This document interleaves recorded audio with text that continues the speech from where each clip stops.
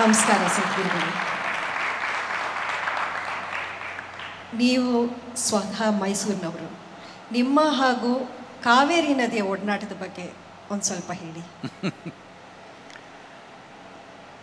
ನಾನು ಆಗಲೇ ಹೇಳ್ದಾಗೆ ಕಾವೇರಿ ಅಂದರೆ ಕಾವೇರಿ ಸುತ್ತ ಇರ್ಕ, ಇರೋ ಪರಿಸರ.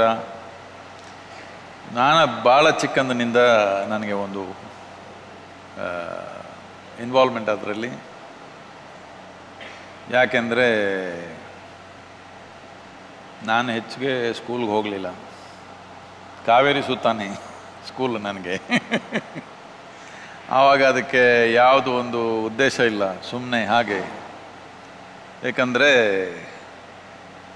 ನನ್ನ ಮನಸ್ಸಿನಲ್ಲಿ ನಾನು ಏನೋ ಒಂದು ಆಗಬೇಕು ಅಂತ ನನಗೆ ಮನಸ್ಸಲ್ಲಿ ಒಂದು ಒಂದು ಥಾಟೇ ಇಲ್ಲ ನನಗೆ. ನನಗೆ ಒಂದು ಕೋಟಿ ಪ್ರಶ್, ಪ್ರಶ್ನೆ ಇದೆ ನನ್ನ ಮನಸ್ಸಲ್ಲಿ. ಆ ಪ್ರಶ್ನೆಗೆ ಮನೆಯಲ್ಲಾದರೂ ಸರಿ, ಸ್ಕೂಲಲ್ಲಾದರೂ ಸರಿ, ಎಲ್ಲೋದ್ರೂ ಅದಕ್ಕೆ ಯಾರೂ ಒಂದು ಉತ್ತರ ಇಲ್ಲ. ಎಲ್ಲರೂ ಏನೋ ಇನ್ನೊಂದು ಹೇಳ್ತಾರೆ. ಇದು ಕೇಳಿದ್ರೆ ಇನ್ನೊಂದು ಹೇಳ್ತಾರೆ.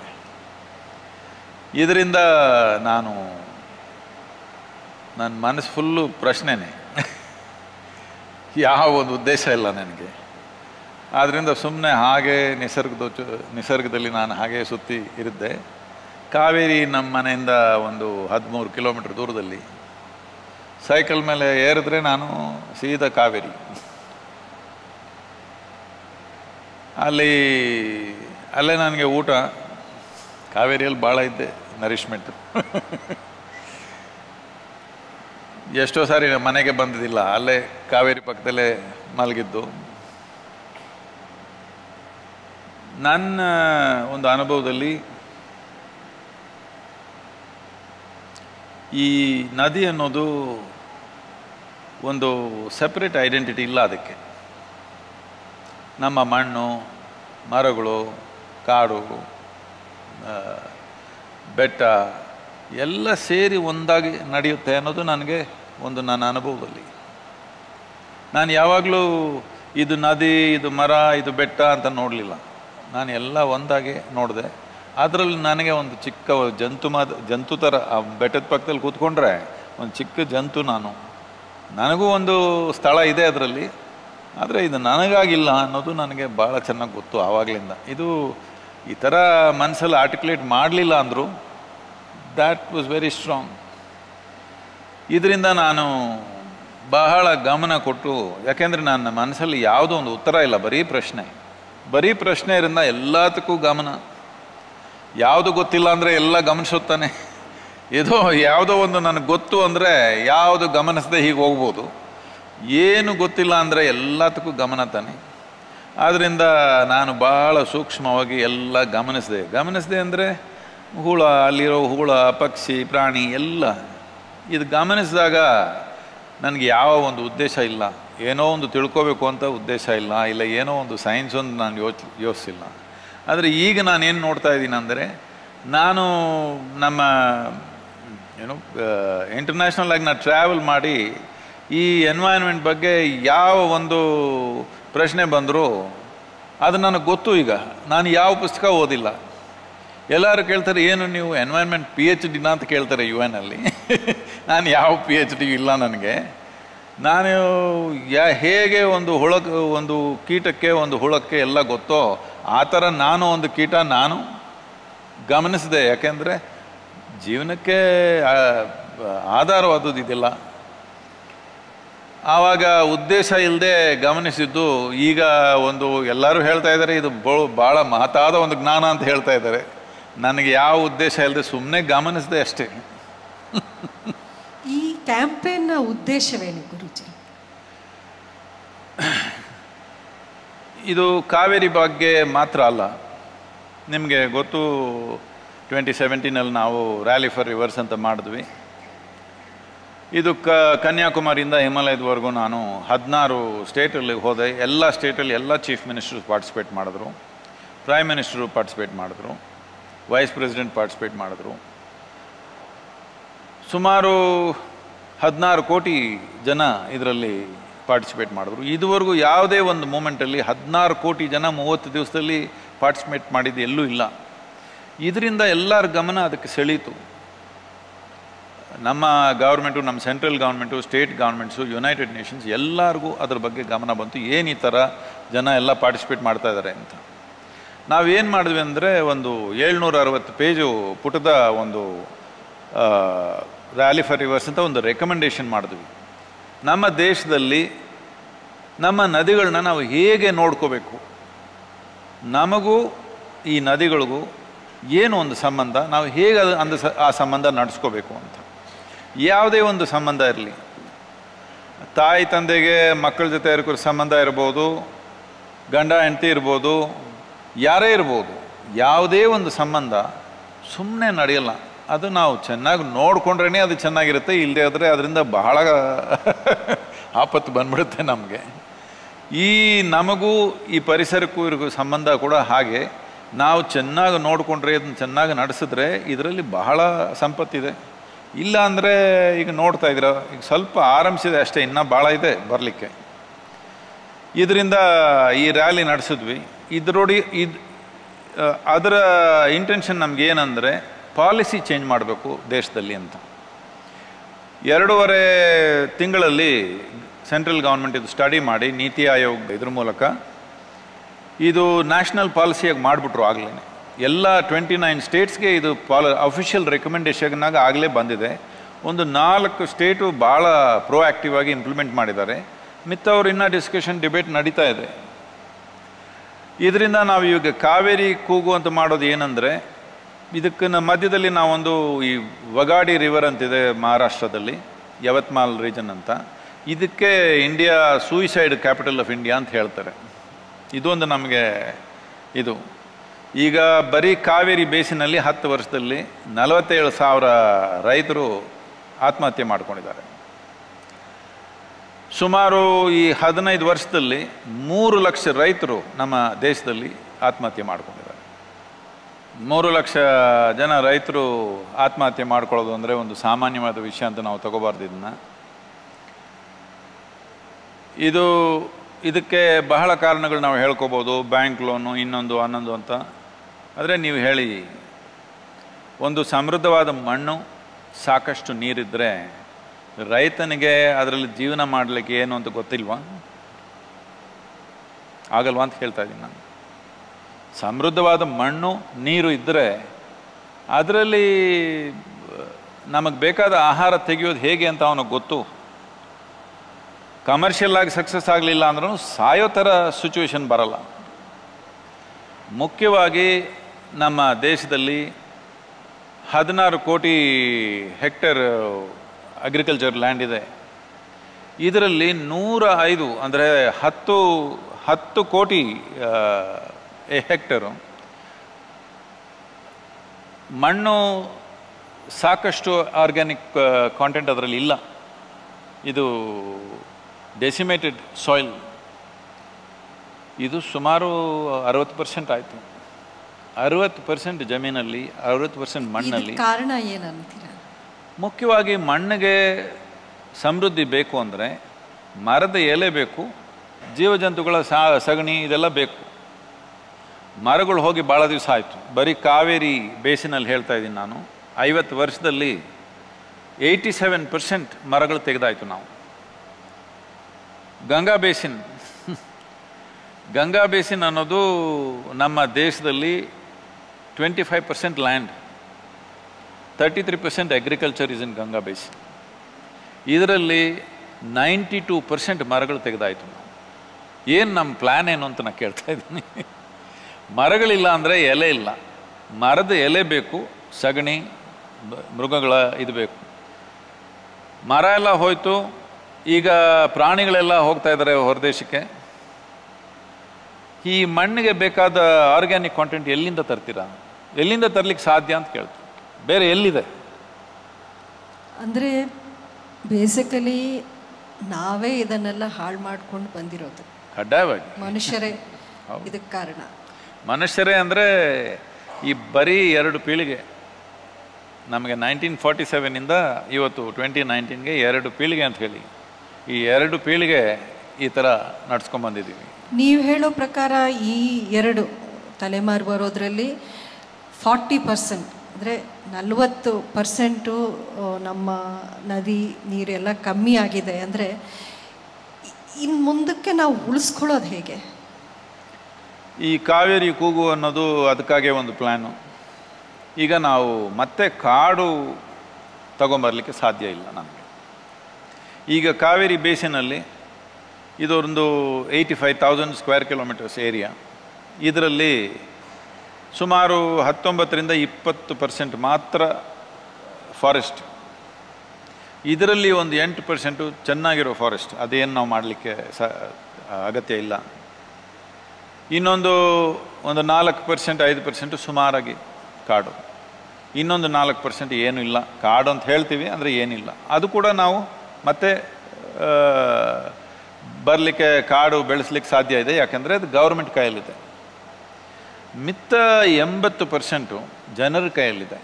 ಅದರಲ್ಲಿ ಸುಮಾರು ಅರವತ್ತೆರಡು, ಅರವತ್ನಾಲ್ಕು ಪರ್ಸೆಂಟು ಬರೀ ವ್ಯವಸಾಯಿಕ ರೈತರ ಕೈಯಲ್ಲಿದೆ. ಈಗ ಒಂದೇ ಒಂದು ಕೆಲಸ. ಈಗ ರೈತರು ವರಮಾನ ಇಲ್ಲದೇ ಆತ್ಮಹತ್ಯೆ ಮಾಡೋ ಸ್ಥಿತಿಗೆ ಬಂದಿದ್ದಾರೆ. ಮುಖ್ಯವಾಗಿ ಮಣ್ಣಲ್ಲಿ ಸತ್ತ, ಸತ್ವ ಇಲ್ಲ. ಸತ್ವ ಇಲ್ಲ ಇಲ್ಲ ಇಲ್ಲದರಿಂದ ನೀರು ಅದರಲ್ಲಿ ಹಿಡ್ಕೊಳ್ಳಿಕ್ಕೆ ನಮಗೆ ಶಕ್ತಿ ಇಲ್ಲ. ಈಗ ಒಂದು ನೂರು ವರ್ಷದಲ್ಲಿ ಎಷ್ಟು ಮಾನ್ಸೂನ್ ಮಳೆ ಬರ್ತಾ ಇದೆ, ಈಗ ಕೂಡ ಅಷ್ಟೇ ಬರ್ತಾ ಇದೆ, ಕಮ್ಮಿ ಆಗಿಲ್ಲ. ಒಂದು ಏನಾಗಿದೆ ಅಂದರೆ ಸುಮಾರು ನೂರಿಪ್ಪತ್ತರಿಂದ ನೂರೈವತ್ತು ದಿವಸ ಬರೋ ಮಾನ್ಸೂನು ಈಗ ನಲವತ್ತರಿಂದ ಎಪ್ಪತ್ತೈದು ದಿವಸ ಬರ್ತಾ ಇದೆ. ಹಾಗಂದರೆ ಒಂದೇ ದಿವಸದಲ್ಲಿ ಹೆಚ್ಚಿಗೆ ಮಳೆ ಬರುತ್ತೆ. ವರ್ಷ ಪೂರ ಮಳೆ ಇಲ್ಲ ನಮಗೆ. ಒಂದು ನೂರೈವತ್ತು ದಿವಸ ಮಳೆ ಬಿದ್ದರೆ ಮುನ್ನೂರೈವತ್ತು ದಿವಸ ನೀರು ಅದರಲ್ಲಿ ಹಿಡ್ಕೊಳ್ಳಿಕ್ಕೆ ಭಾಳ ಸುಲಭ ಇರ್ತಿತ್ತು. ಅದು ಇದು ಕಮ್ಮಿ ಆಗಿದೆ. ಇದು ಯಾಕೆ ಈ ಥರ ಆಗಿದೆ ಅಂದರೆ ಒಂದು ಮರಕ್ಕೂ ಒಂದು ಕಾಡಿಗೂ ಮೋಡಕ್ಕೂ ಒಂದು ಸಂಪರ್ಕ ಇದೆ. ಆ ಸಂಪರ್ಕ ನಾವು ಹೊಡೆದು ಬಿಟ್ವಿ. ಯಾವಾಗ ಈ ಸಂಪರ್ಕ ಹೊಡೆದು ಬಿಟ್ವಿ? ಈಗ ಯಾವ ಥರ ಒಂದು ಮರಳುಗಾಡಿನಲ್ಲಿ ಕ್ಲೌಡ್ ಬಸ್ಟ್ ಆಗುತ್ತೆ. ಇಲ್ಲ ಅವ್ರ ಮೌಂಟನಸ್ ಏರಿಯಲ್ಲಿ ಕ್ಲೌಡ್ ಬಸ್ಟ್ ಆಗುತ್ತೆ. ಆ ಥರ ಇದೆ ಈಗ ಪ್ಲೇನ್ಸಲ್ಲಿ ಯಾವತ್ತೂ ಇಲ್ಲ ಈ ಥರ. ಯಾಕಂದರೆ ಮರಗಳಿಲ್ಲ. ಮೋಡಕ್ಕೆ ಎಲ್ಲಿ ಮಳೆ ಬಿಡಬೇಕು ಅಂತ ಗೊತ್ತಿಲ್ಲ. ಒಂದೇ ಸಾರಿ ಬಿಡುತ್ತೆ. ಮರಗಳಿದ್ದರೆ ಆ ಒಂದು ಭಾಷೆ ಅವರಿಬ್ಬರಿಗೂ ನಡೀತೆ. ಅದರಿಂದ ಬೇರೆ ಥರ ನಡೀತಾ ಇತ್ತು. ಈಗ ಎಲ್ಲಿ ನೋಡಿದ್ರೂ ಒಂದೇ ಟೈಮಲ್ಲಿ ಪ್ರಹಲ ಪ್ರವಾಸ ನಡೀತಾ ಇದೆ, ಬರಾನು ನಡೀತಾ ಇದೆ. ಇದು ಬೇರೆ ಬೇರೆ ಪ್ರಾಬ್ಲಮ್ಸ್ ಅಂತ ತಿಳ್ಕೊಬಾರ್ದು. ಇದು ಒಂದೇ ಪ್ರಾಬ್ಲಮ್ ಈಗ ಬಂದ ಮಳೆ ಹೀಗೆ ಹೋಗಬೇಕು, ಭೂಮಿಯೊಳಗೆ ಹೋಗಬೇಕು. ಹೀಗೆ ಓಡಿದ್ರೆ ಪ್ರವಾಸ ಅಂತೀವಿ. ಹೀಗೆ ಹೋದರೆ ನಮ್ಮ ನದಿ, ನಮ್ಮ ಬಾವಿ, ನಮ್ಮ ಕೆರೆ, ನಮ್ಮ ಕುಂಟೆ ಎಲ್ಲದರಲ್ಲೂ ನೀರು ಸೇರುತ್ತೆ. ಎಲ್ಲದಕ್ಕೂ ಮುಖ್ಯವಾಗಿ ಭೂಮಿಯಲ್ಲಿ ಆಕ್ವಿಫೈರ್ಸ್ ಅಂತಿದೆ. ಈ ಟ್ರಾಪಿಕಲ್ ಲ್ಯಾಂಡಲ್ಲಿ ಯಾಕೆ ನಾವು ಕಾವೇರಿ ಅಂತ ತಗೊಂಡಿರೋದು ಅಂದರೆ, ಈ ಒಂದು ರೀಜನ್ ರಿವೈವ್ ಮಾಡೋದು ಎಲ್ಲದಕ್ಕೂ ಸುಲಭವಾದ್ದು. ಒಂದು ಡೆಮನ್ಸ್ಟ್ರೇಟಬಲ್ ಮಾಡೆಲ್ ಕ್ರಿಯೇಟ್ ಮಾಡಬೇಕು ಅನ್ನೋದು ಯು ಎನ್ನಿಂದ ನಮಗೆ ಹೇಳಿದ್ರು. ನಾನು ಹೇಳಿದೆ ಇದು, ಇದೆಲ್ಲ ನಾನು ಮಾತಾಡಿದಾಗ, ಅವರು ಇದು ಬಹಳ ಚೆನ್ನಾಗಿದೆ ಸದ್ಗುರು, ಇದು ಇದು ಬಿಟ್ಟು ಬೇರೆ ಯಾವ ಒಂದು ತೀರ್ವು ಇಲ್ಲ ನಮಗೆ. ಆದರೆ ನಾವು ಕೆಲಸ ಮಾಡೋದು ಹೇಗೆ ಅಂದರೆ, ಒಂದು ಡೆಮಾನ್ಸ್ಟ್ರೇಟಬಲ್ ಮಾಡೆಲ್ ಇರಬೇಕು. ಆ ಮಾಡೆಲ್ ಇರೋದು ಇದ್ರೇ ಯುನೈಟೆಡ್ ನೇಷನ್ಸ್ ಬರುತ್ತೆ ವರ್ಲ್ಡ್ ಬ್ಯಾಂಕ್ ಬರುತ್ತೆ ಗೌರ್ಮೆಂಟ್ ಬರುತ್ತೆ, ಎಲ್ಲ ಬರುತ್ತೆ. ಈ ಡೆಮಾನ್ಸ್ಟ್ರೇಟಬಲ್ ಮಾಡೆಲ್ ಇಲ್ಲ, ನಮಗೆ ಗೊತ್ತು, ವಿಜ್ಞಾನಪೂರ್ವಕವಾಗಿ ಇದು ಕೆಲಸ ಮಾಡುತ್ತೆ ಅಂತ ನಮಗೆ ಗೊತ್ತು. ಆದರೆ ನೀವೊಂದು ಡೆಮಾನ್ಸ್ಟ್ರೇಟ್ ಮಾಡಬೇಕು ಅಂದರು. ಇದರಿಂದ ನಾನು ಎಲ್ಲ ಯೋಚಿಸಿ ಯಾವ ನದಿ ಮಾಡಿದ್ರೆ ಬೇಗ ನಾವು ಡೆಮಾನ್ಸ್ಟ್ರೇಟ್ ಮಾಡ್ಬೋದು ಅಂತ ನೋಡಿ, ಕಾವೇರಿ ನದಿ ಎಲ್ಲದಕ್ಕೂ ಸುಲಭವಾಗಿ ನಾವು ಮಾಡ್ಬೋದು. ಏನಂದರೆ ಈಗ, ಇದಲೇ, ಇದರಲ್ಲಿ ಮೂರನೇ ಒಂದು ಭಾಗ ನಾವು ನೆರಳಲ್ಲಿ ತಗೊಂಬರ್ಬೇಕು ನೆರಳಲ್ಲಿ ಬಿದ್ದುಬಿಟ್ರೆ ಅಲ್ಲಿ ಎಲೆ ಬೀಳುತ್ತೆ, ಎಲ್ಲ ಜೀವಜಂತುಗಳೆಲ್ಲ ಅಲ್ಲಿ ಕೆಲಸ ಮಾಡುತ್ತೆ. ಇದರಿಂದ ಬಿದ್ದ ಮಳೆ ಹೀಗೆ ಹೋಗಬೇಕು. ಈಗ ಹೀಗೆ ಓಡ್ತಾ ಇದೆ. ಇದು ಒಂದು ಆದರೆ, ಎಷ್ಟು ಅಂದರೆ ಈಗ ನಾವು ಇನ್ನೂರ ನಲವತ್ತೆರಡು ಕೋಟಿ ಮರಗಳು ಇಡಬೇಕು ಅಂತ ನೋಡ್ತಾ ಇದ್ದೀವಿ. ಇದು ನಾವಿಡೋದು ಅಂತಲ್ಲ, ಈಗ ನಾವು ಗೌರ್ಮೆಂಟ್ಗೆ ಈ ಒಂದು ಸಬ್ಸಿಡಿ ಕೇಳ್ತಾ ಇದ್ದೀವಿ. ನಾಲ್ಕು ವರ್ಷ ರೈತರಿಗೆ. ಯಾರು ಆಗ್ರೋ ಫಾರೆಸ್ಟ್ರಿಗೆ ಹೋಗ್ತಾರೋ ಅವ್ರಿಗೆ ಸ್ವಲ್ಪ ಸಬ್ಸಿಡಿ ಕೊಡಬೇಕು. ಈ ಒಂದು ಸಬ್ಸಿಡಿ ಏನಂದರೆ, ಈ ಚೇಂಜ್ ಓವರ್ ಪೀರಿಯಡ್ ಫೋರ್ ಇಯರ್ಸಲ್ಲಿ ಸ್ವಲ್ಪ ಕಷ್ಟ ಇದೆ. ಆದರೆ ಈಗ ಒಂದು ಹೆಕ್ಟರ್ಗೆ ನಮ್ಮ ಒಬ್ಬ ರೈತ ಸಾಮಾನ್ಯವಾಗಿ ಕರ್ನಾಟಕದಲ್ಲಿ ನಲವತ್ತೆರಡರಿಂದ ನಲವತ್ತೈದು ಸಾವಿರ ಸಂಪಾದಿಸ್ತಾ ಇದ್ದಾನೆ. ನೀವು ಆಗ್ರೋ ಫಾರೆಸ್ಟ್ರಿಗೆ ಹೋದರೆ ಐದು, ಐದರಿಂದ ಏಳು ವರ್ಷದಲ್ಲಿ ಒಂದು three hundred percent to eight hundred percent increase in income will happen okay in ಒಂದು ಹತ್ತು ವರ್ಷದಲ್ಲಿ ಲಾಂಗ್ ರನ್ ಅಲ್ಲಿ ಇದರಲ್ಲಿ ಮೋರ್ ಅವ್ರಿಗೆ ಮಚ್ ಮೋರ್ ಈಗ ನಾವೊಂದು ಸುಮಾರು ಎಪ್ಪತ್ತು ಸಾವಿರ ರೈತರನ್ನ ಈ ಥರ ಕನ್ವರ್ಟ್ ಮಾಡಿದ್ದೀವಿ ತಮಿಳ್ನಾಡಲ್ಲಿ. ಇದು ಕಣ್ಣಲ್ಲಿ ನೋಡಲಿಕ್ಕೆ ಎಲ್ಲರಿಗೂ ಇದೆ. ಈಗ ಮೀಡಿಯಾ ಎಲ್ಲ ಬಂದು ಅಲ್ಲಿ ಇಂಟರ್ವ್ಯೂ ಮಾಡ್ತಾ ಇದ್ದಾರೆ ರೈತರನ್ನ. ಅವ್ರವ್ರ ಅವ್ರ ಅವ್ರ ಜೀವನನೇ ಬದಲಾಗ್ಬಿಡ್ತು, ಯಾಕಂದರೆ ಆಗ್ರೋ ಫಾರೆಸ್ಟ್ರಿಯಿಂದ ಆದರೆ ನಾವು ಪೂರ್ತ ಈ ಕ್ರಾ ರೆಗ್ಯುಲರ್ ಮಾಡೋ ಕ್ರಾಪ್ಸ್ ಬಿಟ್ಬಿಡ್ಬೇಕಾ? ಹಾಗೇನಿಲ್ಲ. ಮರಗಳ ಜೊತೆ ಅದು ಬೆಳೆಸ್ಬೋದು. ಇನ್ಕಮ್ ಅನ್ನೋದು ಸುಮಾರು ಒಂದು ಹದ್, ಹತ್ತು ವರ್ಷದಲ್ಲಿ ಈಗ ನಲವತ್ತೈದು ಸಾವಿರ ಇರೋ ಇನ್ಕಮ್ನು ಸುಮಾರು ಎಂಟು ಲಕ್ಷ ಒಂದು ಹೆಕ್ಟರ್ಗೆ ಸಂಪಾದಿಸ್ಲಿಕ್ಕೆ ಇದಿದೆ, ಚಾನ್ಸ್ ಇದೆ. ಕಡ್ಡಾಯವಾಗಿ ಮಾಡ್ಬೋದು. ಮುಖ್ಯವಾಗಿ ಗೌರ್ಮೆಂಟ್ ಈಗ ಸಬ್ಸಿಡಿ ಕೊಡಲಿಕ್ಕೆ ಆಲ್ಮೋಸ್ಟ್ ರೆಡಿ ದೇರ್ ಈ ಸಬ್ಸಿಡಿ ಕೊಡಬೇಕು, ಅದು ಕಡ್ಡಾಯವಾಗಿ ನಡೆಯುತ್ತೆ. ನಾವು ಸೆಂಟ್ರಲ್ ಗೌರ್ಮೆಂಟಲ್ಲೂ ಇಲ್ಲೂ ಕೆಲಸ ಮಾಡ್ತಾ ಇದ್ದೀವಿ. ನೆಕ್ಸ್ಟು ನಾವು ಈ ನಾತು ರೆಡಿ ಮಾಡಬೇಕು. ಈ ಸಸಿಗಳನ್ನ ತಯಾರು ಮಾಡಬೇಕು. ಈ ಸಸಿ ತಯಾರು ಮಾಡೋದು ನಾವು ಗೌರ್ಮೆಂಟೇ ಮಾಡಲಿ ಅಂತ ಹೇಳಿದ್ರೆ, ಇದು ಇನ್ನೂರ ನಲವತ್ತೆರಡು ಕೋಟಿ ಸಸಿ ತಯಾರು ಮಾಡೋದು ಗೌರ್ಮೆಂಟ್ ಮಾಡಲಿಕ್ಕೆ ಅಷ್ಟು ಇನ್ಫ್ರಾಸ್ಟ್ರಕ್ಚರ್ ಇಲ್ಲ. ಅದಕ್ಕೆ ಒಂದು ಡಿಪಾರ್ಟ್ಮೆಂಟ್ ಮಾಡಬೇಕಾಗತ್ತೆ, ಒಂದು ಮಿನಿಸ್ಟ್ರಿನೇ ಮಾಡಬೇಕಾಗತ್ತೆ. ಇದರಿಂದ ನಾವೇನು ಮಾಡ್ತಾ ಇದ್ದೀವಿ ಒಂದು ರೈತರಿಗೆ ಇದೇ ಒಂದು ಇದೇ ಒಂದು ಇಂಡಸ್ಟ್ರಿ ಥರ ನಾವು ಹೇಳ್ಕೊಡ್ತಾ ಇದ್ದೀವಿ. ಸಸಿ ತಯಾರು ಮಾಡೋ ರೈತರೇ ಅವರೇ ಒಂದು ಬಿಸ್ನೆಸ್ ಮಾಡ್ಬೋದು. ಅದಕ್ಕಾಗಿ ಸಾಕಷ್ಟು ಸಪೋರ್ಟು ಅದಕ್ಕಾಗಿ ವಿಡಿಯೋಸ್ ಮಾಡಿದ್ದೀವಿ. ಸೈಂಟಿಫಿಕ್ ಆಗಿ ಯಾವ ಥರ ಮಾಡಬೇಕು, ಯಾವ ಸ್ಪೀಷೀಸ್ ಮಾಡಬೇಕು ಅಂತ. ಅದಿಲ್ಲದೇ ನಾವು ಕೂಡ ಅದ್ರ ಜೊತೆಗೆ ಕೋಟಿ ಬಹಳ ಕೋಟಿ ಸಸಿಗಳು ನಾವೇ ತಯಾರು ಮಾಡಲಿಕ್ಕೆ ಮಾಡ್ತಾಯಿದ್ದೀವಿ ಈಗ ನಮ್ಮ ಹತ್ರ ಒಂದು ಮೂವತ್ತ್ಮೂರು ನರ್ಸರಿ ಇದೆ. ಅಷ್ಟು ಸಾಕಾಗಲ್ಲ. ಸುಮಾರು ನಮಗೆ ಇನ್ನೂರೈವತ್ತರಿಂದ ಮುನ್ನೂರು ನರ್ಸರಿ ಸ್ಟಾರ್ಟ್ ಮಾಡಬೇಕು. ಒಂದು ಅಟ್ಲೀಸ್ಟ್ ಐವತ್ತು ಎಕರೆ ಇರೋಷ್ಟು ಒಂದು ಮುನ್ನೂರು ನರ್ಸರಿ ಮಾಡಲಿಕ್ಕೆ ನೆಸೆಸಿಟಿ ಇದೆ. ಇದರಲ್ಲಿ ನಮ್ಮ ಕೊಡಗು ಪ್ರದೇಶದಲ್ಲಿ ಕಾಫಿ ಎಸ್ಟೇಟ್ಸ್ ಇರೋದರಿಂದ ನೆರಳಿದೆ, ನೀರಿದೆ, ಆ ಒಂದು ಅಟ್ಮಾಸ್ಫಿಯರ್ ಇದೆ. ಇದರಿಂದ ನಾನು ಅಲ್ಲಿರೋರಿಗೆಲ್ಲ ಕೇಳ್ತಾ ಇದ್ದೀನಿ. ಅವರು ಕಾಫಿ ಅವ್ರು ಬೆಳೆಸ್ಕೋಬೋದು. ಅವ್ರ ಎಸ್ಟೇಟು ನಾನು ಸುಮಾರು ಒಂದು ಸಾವಿರ ಎಕರೆ ನಮಗೆ ಒಂದು ಮೂರು ವರ್ಷ ಕೊಟ್ಟರೆ ಕೊಟ್ಟರೆ ಅಂದರೆ ಅವರು ಕಾಫಿ ಬೆಳೆಸ್ಕೋಬೋದು. ಆ ನೆರಳು ಮಟ್ರ ಮಾತ್ರ ನಮಗೆ ಕೊಟ್ಟರೆ ಇದರಲ್ಲಿ ನಾವು ಸಸಿಗಳನ್ನ ಬೆಳೆಸಲಿಕ್ಕೆ ಮಾಡ್ತಾಯಿದ್ವಿ ಅಲ್ಲಿ ಇರೋ ಜನ ಕಡ್ಡಾಯವಾಗಿ ಮಾಡಿಕೊಡ್ತೀವಿ ಅಂತ ಹೇಳಿದ್ದಾರೆ. ನೋಡೋಣ.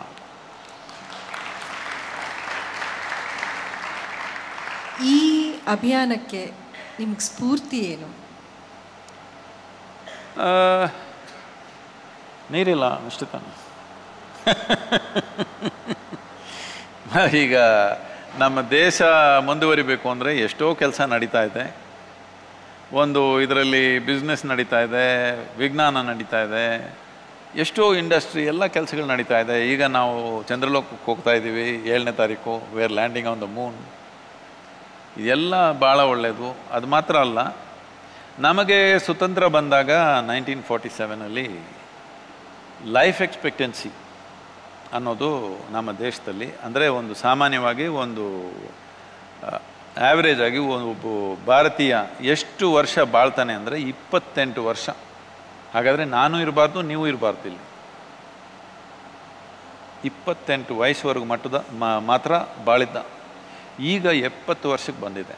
ಇದೊಂದು ಬಹಳ ದೊಡ್ಡ ಸಾಧನೆ, ಸಾಮಾನ್ಯವಾದ ಸಾಧನೆಯಲ್ಲಿ ಈ ಸಾಧನೆಯಲ್ಲಿ ನಾವು ಇಂಡಸ್ಟ್ರಿ ಬಿಸ್ನೆಸ್ಸು ವಿಜ್ಞಾನ, ಟೆಕ್ನಾಲಜಿ ಅಂತ ಹೋಗಿ ಅದೆಲ್ಲ ಮಾಡಬೇಕು. ಆದರೆ ನಾವು ಮಣ್ಣು, ನೀರು ಅನ್ನೋದು ಮರ್ತೋಗ್ಬಿಟ್ಟು ಅದರಿಂದ ಈಗ ನಾವು ಆ ಕೆಲಸ ಮಾಡಲಿಕ್ಕೆ ಅವಶ್ಯಕತೆ ಇದೆ, ಮಾಡಲೇಬೇಕು. ನನ್ನದೊಂದು ಕನ್ಸರ್ನ್ ಇದರಲ್ಲಿ.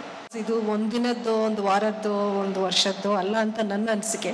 ಯಾಕೆಂದರೆ it has to sustain forever ನಾವು ನಮ್ಮ ಎನ್ವೈರ್ಮೆಂಟ್ನ ಪರಿಸರ ನದಿಗಳನ್ನು ಕೆರೆಗಳನ್ನು ಕಾಪಾಡಬೇಕು ಅಂದರೆ it is a lifetime movement ಆಗಬೇಕು. ಇದನ್ನು how do we do it how do we sustain it ಈಗ ನೋಡಿ ಇಪ್ಪತ್ತು ವರ್ಷದಿಂದ ಈ ಆಗ್ರೋ ಫಾರೆಸ್ಟ್ರಿ ನಾವು ಸುಮಾರು ಎಪ್ಪತ್ತು ಸಾವಿರ ಜನ ರೈತರನ್ನ ತಗೊಂಬಂದಿದ್ದೀವಿ. ಈಗ ಸುಮಾರು ಮೂರರಿಂದ ಐದು ಸಾವಿರ ಜನ ವರ್ಷಕ್ಕೆ ಕನ್ವರ್ಟ್ ಆಗ್ತಾ ಇದ್ದಾರೆ. ಈ ಒಂದು ಸ್ಪೀಡಲ್ಲೇ ನಾವು ಹೋದರೆ ಎಂಬತ್ತರಿಂದ ನೂರು ವರ್ಷ ಆಗುತ್ತೆ. ಈಗ ಈ ಕಾವೇರಿ ಕೂಗು ಅನ್ನೋದು ಯಾವ ಥರ ಒಂದು ಮೂಮೆಂಟ್ ಅಂದರೆ, ಈ ನೂರು ವರ್ಷದಲ್ಲಿ ಹೇಗಿದ್ರೂ ಸಹಜವಾಗಿ ನಡೆಯೋ ಕೆಲಸ ಹನ್ನೆರಡು ವರ್ಷದಲ್ಲಿ ಮಾಡಬೇಕು ಅಂತ. ಈ ವಯಸ್ಸಲ್ಲಿ ಹನ್ನೆರಡು ವರ್ಷದ ಪ್ರಾಜೆಕ್ಟ್ ನಾನು ತಗೋಬಾರ್ದು. ಅಂದರೆ ಈ ಹನ್ನೆರಡು ವರ್ಷ ಅನ್ನೋದು ಮಿನಿಮಮ್ ಮಿನಿಮಮ್ ಅಷ್ಟು ಮಾಡಲಿಲ್ಲ ಅಂದರೆ ಇದು ಆಗೋದಿಲ್ಲ. ಈ ಹನ್ನೆರಡು ವರ್ಷದಲ್ಲಿ ಸಾಧಿಸಬೇಕು ಅಂತ ನಾನು ಮಕ್, ಜನರನ್ನ ಕರ್ನಾಟಕ ಜನರನ್ನ ಕೇಳ್ಕೊಳ್ಳೋದು, ಹನ್ನೆರಡು ವರ್ಷದಲ್ಲಿ ಮುಗಿಸ್ಬೋದು. ಯಾಕೆಂದರೆ ಇದು ಎಕನಾಮಿಕ್ ಪ್ಲ್ಯಾನ್ ಇದೇ ಭಾಳ ಮುಖ್ಯವಾದ ವ್ಯತ್ಯಾಸ ಏನು ಅಂದರೆ, ಯಾವಾಗಲೂ ಎಕಾಲಜಿ ಅಂದರೆ ಎಕಾನಮಿಗೆ ಅಗೇನ್ಸ್ಟ್ ಆಗಿ ಅಂತ ತಿಳ್ಕೊತಾರೆ. ಈ this is an economic plan with a significant ecological impact ಯಾವಾಗ ಅದರಲ್ಲಿ ಒಂದು ವರಮಾನ ಇದೆಯೋ ಆಗ ಅದು ನಿಲ್ಲಿಸ್ಲಿಕ್ಕೆ ಆಗಲ್ಲ ನಿಮ್ಮ ಕೈಯಲ್ಲಿ. ನೀವು ನೀವು ನೀವು ನಾನು ಟ್ರೈ ಮಾಡಿದ್ರು ನಿಲ್ಲಿಸ್ಲಿಕ್ಕೆ ಆಗಲ್ಲ ಅದು. ಈಗ ಅದು ಸಾಕಷ್ಟು ಒಂದು ಎರಡು ಮೂರು ವರ್ಷದಲ್ಲಿ ಸಾಕಷ್ಟು ಅದಕ್ಕೆ ಸ್ಫೂರ್ತಿ ಬಂದ್ಬಿಟ್ರೆ ಆಮೇಲೆ ಯಾರು ನಿಲ್ಲಿಸ್ಲಿಕ್ಕಾಗಲ್ಲ ಯಾಕೆಂದ್ರೆ ಇದರಲ್ಲಿ ರೈತನಿಗೆ ಬಹಳಷ್ಟು ವರಮಾನ ಐತೆ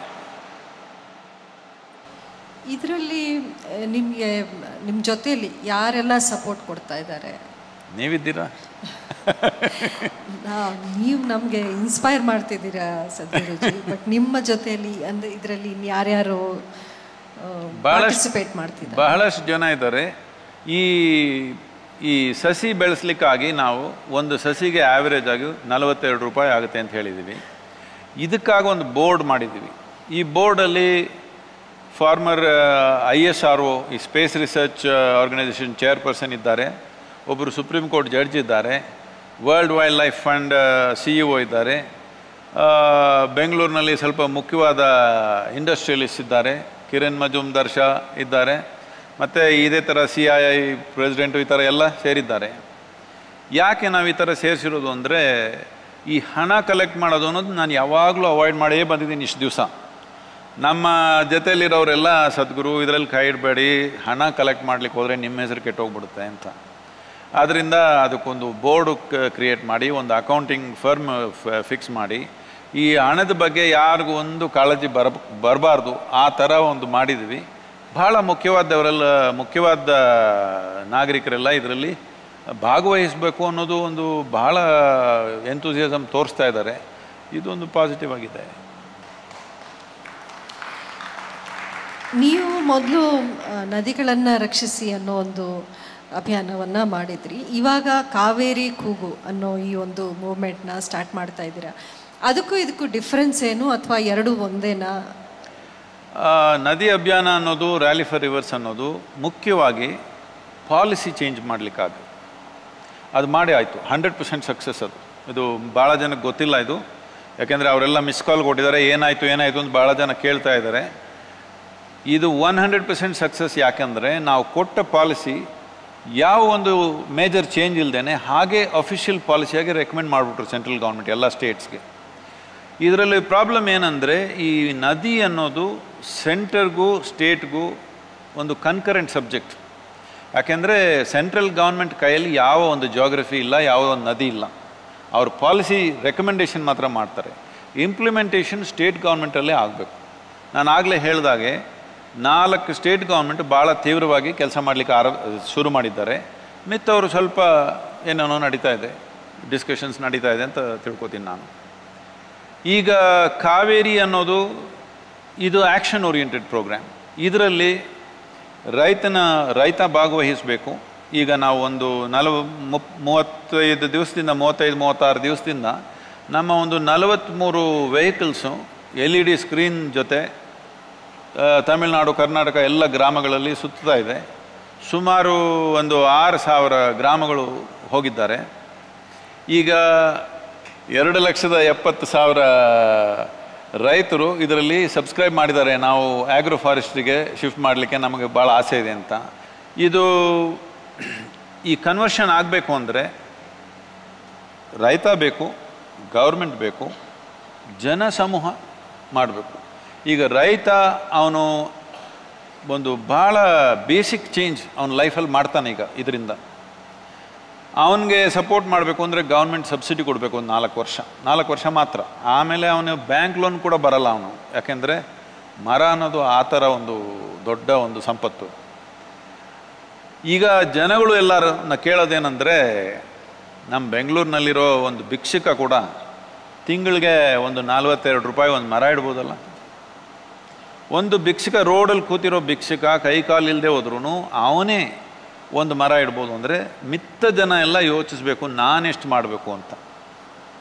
ಯಾಕೆಂದರೆ ಸಸಿ ಬೆಳೆಸೋದು ಅನ್ನೋದು ಇನ್ನೂರ ನಲವತ್ತೆರಡು ಕೋಟಿ ಸಸಿ ಬೆಳೆಸೋದು ಸಾಮಾನ್ಯವಾದ ಕೆಲಸ ಇಲ್ಲ. ಇದಕ್ಕೆ ಎಲ್ಲರ ಸಹಜ, ಸಹಕಾರ ಇದ್ರೇ ಇದು ಮಾಡ್ಲಿಕ್ಕೆ ಸಾಧ್ಯ. ಇಂಟರ್ನ್ಯಾಷನಲ್ ಆಗಿ ರೆಸ್ಪಾಂಡ್ ಮಾಡ್ತಾ ಇದ್ದಾರೆ. ಈಗ ನಾವು ಇದು ಓಪನ್ ಮಾಡಿ ಬರೀ ಒಂದು ಹದಿನೈದು ದಿವಸ ಆಯಿತು. ಈಗ ಒಂದು ದಿನಕ್ಕೆ ಆ್ಯಾವ್ರೇಜ್ ಆಗಿ ಒಂದು ಅರವತ್ತು ಸಾವಿರ ಸಸಿಗಾಗಿ ಕಾಂಟ್ರಿಬ್ಯೂಷನ್ಸ್ ಬರ್ತಾ ಇದೆ. ಇದು ಸಾಕಾಗಲ್ಲ. ಒಂದು ದಿನಕ್ಕೆ ಬರಬೇಕು, ಒಂದು ಐವತ್ತು ಲಕ್ಷ ಬರಬೇಕು. ಆಗಲೇ ನಾವು ಒಂದು ಒಂದು ಮೂರು ನಾಲ್ಕು ವರ್ಷದಲ್ಲಿ ಸಸಿ ಬೆಳೆಸಿ, ಅದು ಲ್ಯಾಂಡಲ್ಲಿ ಟ್ರಾನ್ಸ್ಪ್ಲಾಂಟ್ ಮಾಡಿ, ಅದು ಬೆಳೆದು ಅದರಿಂದ ನಮಗೆ ಒಂದು ಬೆನಿಫಿಟ್ ಬರಬೇಕು ಅಂದರೆ ಹನ್ನೆರಡು, ಹದಿನೈದು ವರ್ಷದಲ್ಲಿ ಆ ಬೆನಿಫಿಟ್ ನಾವು ನೋಡ್ಬೋದು. ನಮ್ಮ ನಮ್ಮ ಜೀವನ ಇರಬೇಕಾದ್ರೆ ಇದು ನೋಡಬೇಕು ಅಂತ ನಿಮಗೊಂದು ಆಸೆ ಇದ್ದರೆ ಈಗ ಎಲ್ಲರೂ ಸೇರಿ ಮಾಡಬೇಕು. ನಾವು ಇಷ್ಟು, ಎಷ್ಟು? ನೂರಿಪ್ಪತ್ತೈದು ಕೋಟಿ ಜನ ಇದ್ದೀವಿ. ಎಲ್ಲರೂ ಎರಡು ಮರ ಇಟ್ಟರೆ ಆಗೋಯ್ತಲ್ಲ?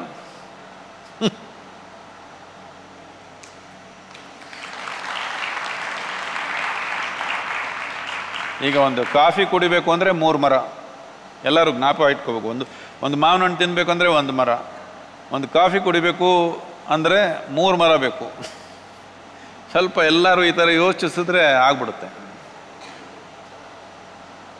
ಈ ಒಂದು ವಿಷಯ ಅಂದರೆ ಇದು ತುಂಬ ನೀವು ಹೇಳೋದು ಯೋಚನೆ ಮಾಡಿದ್ರೆ ತುಂಬ ಸಿಂಪಲ್ ವಿಷಯ. ಆದರೆ ಇದನ್ನು ಕನ್ವೆ ಮಾಡೋದು ಕಮ್ಯುನಿಕೇಟ್ ಮಾಡೋದು ಅಂದರೆ ಅದು ಹೇಗೆ ಮಾಡೋಣ ಅಂತಿದ್ದೀರಿ? ಹೇಗೆ ಅಂದರೆ ಇಲ್ಲದೆ ಹೋದರೆ ನಾನು ಬಂದು ಡ್ಯಾನ್ಸ್ ಫ್ಲೋರಲ್ಲಿ ಕೂತ್ಕೋತೀನ ಈ ಡ್ಯಾನ್ಸ್ ಫ್ಲೋರಲ್ಲಿ ಕೂತಿರೋದು ಯಾಕೆ ಅಂದರೆ ಕನ್ವೆ ಮಾಡೋಕ್ಕೆ ಯಾಕೆಂದರೆ ನನಗೆ ಎಲ್ಲರೂ ನಮ್ಮ ಸುತ್ತ ಇರೋರೆಲ್ಲ ಹೇಳ್ತಾರೆ, ಸದ್ಗುರು, ಇಲ್ಲಿ ಹೋಗ್ಬಾರ್ದು, ನೀವು ಅಲ್ಲಿ ಹೋಗ್ಬಾರ್ದು. ನಾನು ಇದು ಎಲ್ಲಿ ಬೇಕಾದರೂ ಹೋಗ್ತೀನಿ. ಈ ಒಂದು ಕೆಲಸ ನಡಿಬೇಕು. ಎಲ್ಲೇ ಬೇಕಾದ್ರೂ ಸರಿ.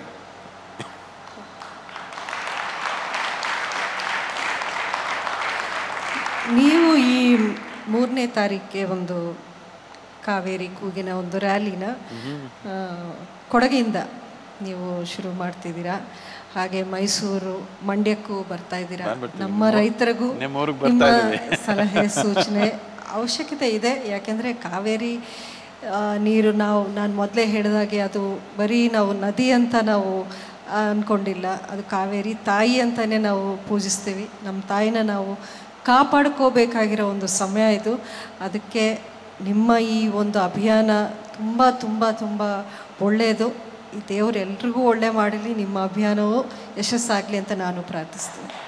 ಈ ನಿಮ್ಮ ನಿಮ್ಮ ಊರಿನ ಮಂಡ್ಯ ರೈತರಿಗೆ ಒಂದು ವಿಷಯ ಹೇಳಬೇಕು. ಏನಂದರೆ, ಈಗ ಭತ್ತ, ಕಬ್ಬು ಬೆಳೆಯೋದು ಯಾಕಂದರೆ ಇದೊಂದು ಸಂಸ್ಕೃತಿ ಕಾರಣಗಳಿಂದ ಕಬ್ಬು, ಭತ್ತ ಬೆಳೀಲಿಲ್ಲ. ಇಲ್ಲ, ಒಂದು ನ್ಯೂಟ್ರಿಷನ್ ಕಾರಣದಿಂದ ಇದು ಬೆಳೀಲಿಲ್ಲ. ಬರೀ ಆರ್ಥಿಕ ಕಾರಣದಿಂದ ಬೆಳೀತಾ ಇರೋದು. ಆರ್ಥಿಕ ಕಾರಣಕ್ಕೆ ಮೂಲ ಏನಂದರೆ, ನಮ್ಮ ದೇಶದಲ್ಲಿ ಯಾವುದೋ ಒಂದು ಒಂದು ವಿಧವಾದ ಚಿಂತನೆಯಿಂದ ನಾವೇನು ಮಾಡಿದ್ವಿ ಅಂದರೆ, ಬರೀ ಕಬ್ಬು, ಭತ್ತ ಗೋಧಿ ಈ ಮೂರಕ್ಕೆ ಮಾತ್ರ ಸಪೋರ್ಟ್ ಪ್ರೈಸ್ ಕ್ರಿಯೇಟ್ ಮಾಡಿದ್ರು. ಇದರಿಂದ ಎಲ್ಲ ಕಡೆ ಬರೀ ಕಬ್ಬು, ಭತ್ತ, ಗೋಧಿ ಬೆಳೆಯೋ ಅಭ್ಯಾಸ ಬಂದ್ಬಿಡ್ತು.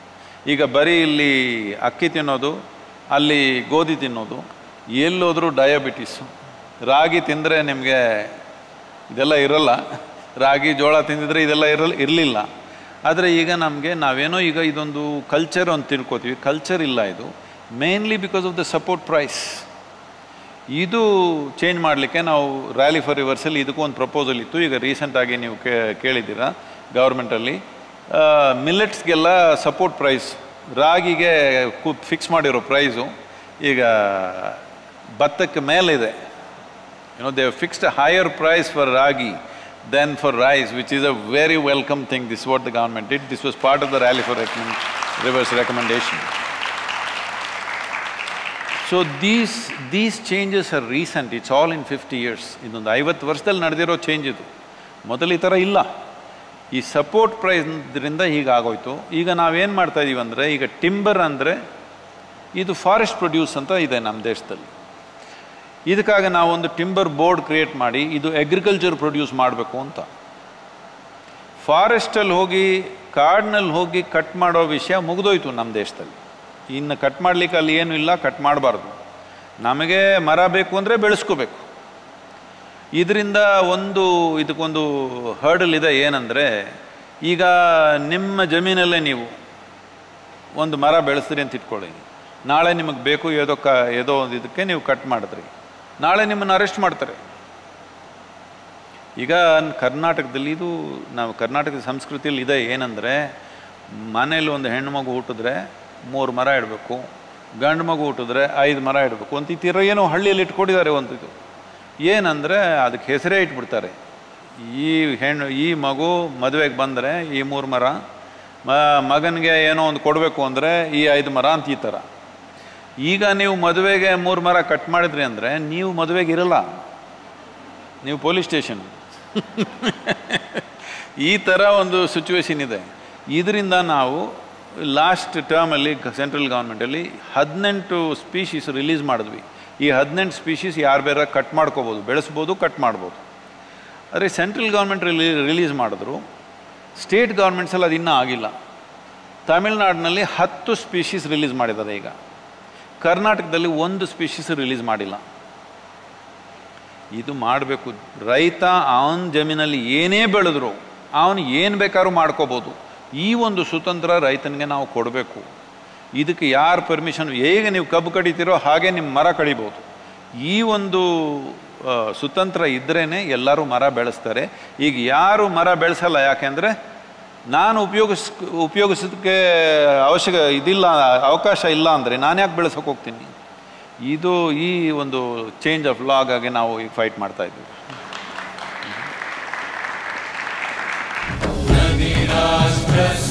ಮಹಾ